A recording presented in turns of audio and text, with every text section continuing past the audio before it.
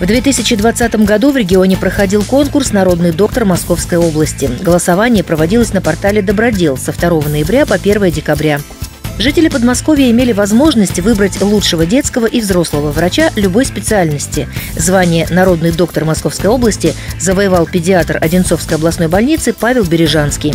Глава муниципалитета Андрей Иванов поздравил Павла с этой победой и отметил, что он пользуется заслуженным авторитетом у коллег. Его уважают и любят жители Одинцовского округа.